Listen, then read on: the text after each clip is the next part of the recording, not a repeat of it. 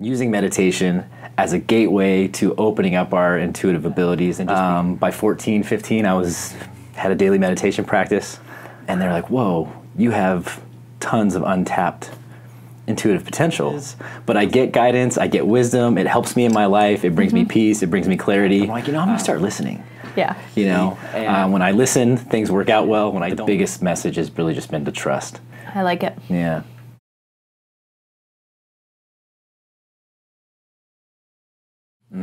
So, okay, so by 14, you were meditating.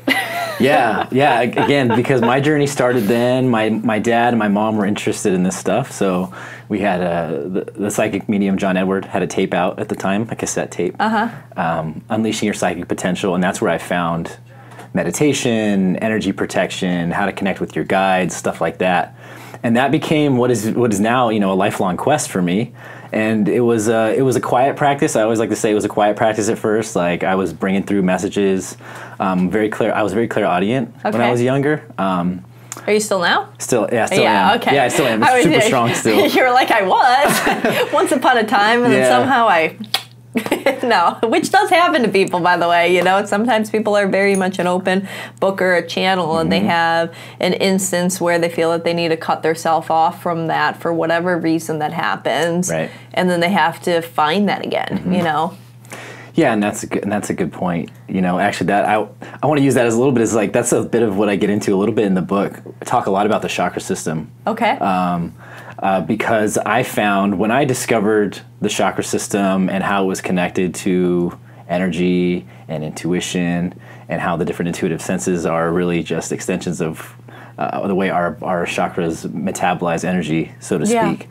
Um, when I found that and I, and I began a daily uh, chakra practice is when uh, all of the kind of psychic potential, intuitive potential in me started to really open up.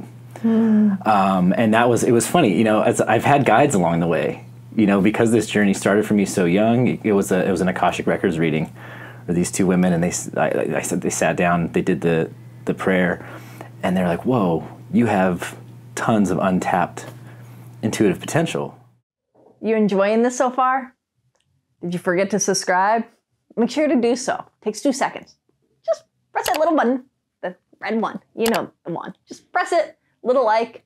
All right, enjoy the rest of this content. i was like really and you know i've always considered myself intuitive Yeah. but it was that little nudge you know that was about eight years ago that i really like opened up Yeah, you took a dive. You didn't just stick your foot in anymore. You were like, all right, I came to swim. right yeah yeah because like i was mentioning it was it was a very it was a very private practice before i figured i'm not sure if this is what it is but i get guidance i get wisdom it helps me in my life it brings me peace it brings me clarity um, when i listen things work out well when i don't listen i tend to get the same advice over and over you know and get the same pattern over and over Right. again. Isn't that right? Yes. You know, like we, we get an inkling and we get an intuition, we don't listen to it. Mm-hmm. And then we find ourselves days, weeks, months later saying, why didn't I listen to that? yeah You know, I knew better. Mm-hmm. I felt it.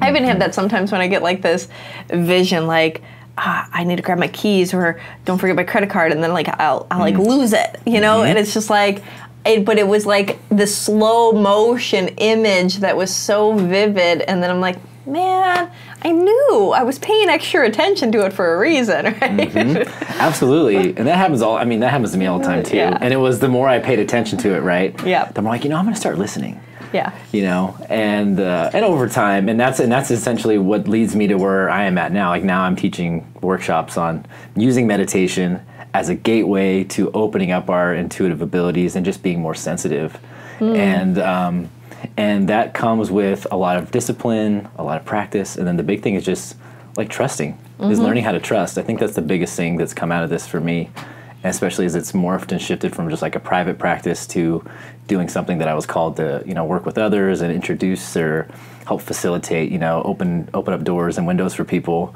Um, along that whole entire process, it, the biggest message has really just been to trust, to learning how to trust those subtle cues, those things that emerge. Yeah. Like you said, a slow motion vision. Yeah. You know, whatever it is that comes through for you. Uh, learning how to trust that stuff and then walk it is when I think we can start to see like real transformation. I like it. Yeah. If you like this content, make sure that you like, subscribe, and comment below. And we also have amazing link right there for some cool product. I know you want to check it out. I know you want to click it. Go ahead. Go ahead. Come on. You can do it. All right. Until next time, have a beautiful, blessed day.